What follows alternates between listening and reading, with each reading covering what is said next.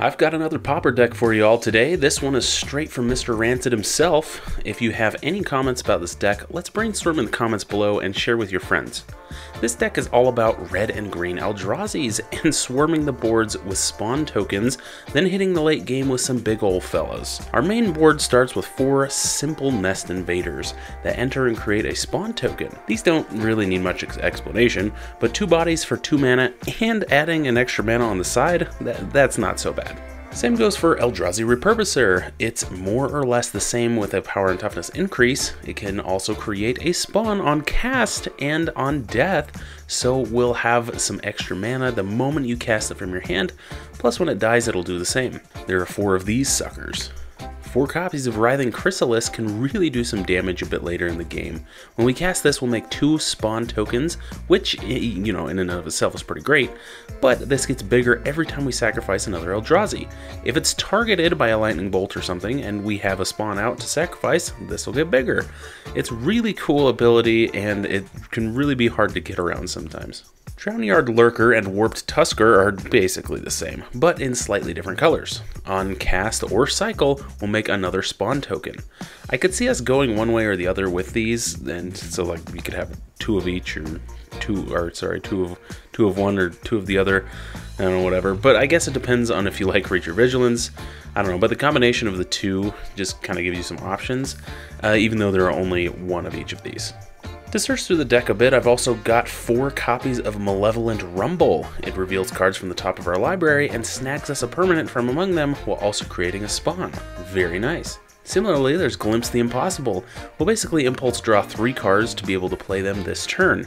If we don't play them, at the end of turn we'll create Eldrazi spawn tokens for each card we didn't use, and then they get shoved into the graveyard, which is kind of nice. There are four of these.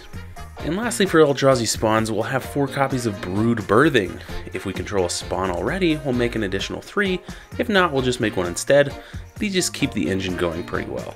Now that we have all these Eldrazi spawns, what are we going to do with all of them? Well, I'm glad you asked. Three Hands of Emrakul come out by sacrificing four spawns.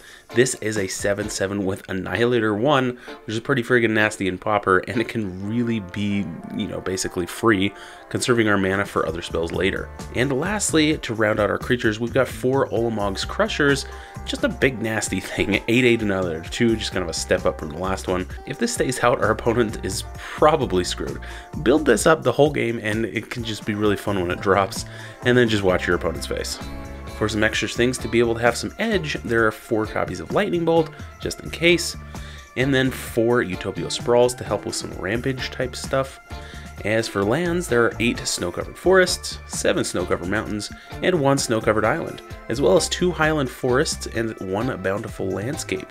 These don't have to be snow-covered, but I believe the original version of the deck ran Skred instead of Lightning Bolt, but hey, it would ultimately be up to you if you build this deck. Moving to the sideboard, there are four copies of Ancient Grudge, which is really cool Gruul flashback card for that artifact removal. Three End the Festivities for small creature sweepers, four Pyroblasts for that blue spell and permanent removal, and lastly four Tormod's Crypts for the graveyard removal. Okay, that's it. Let me and Mr. Rancid know what you thought of the deck in the comments below.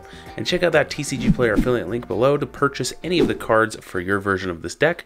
And if you're looking for some playmats or proxies for your other games, click that Milkman Proxies affiliate link as well. These both help the channel greatly. Thank you so much for watching, and I'll see you next week for your weekly dose of magic.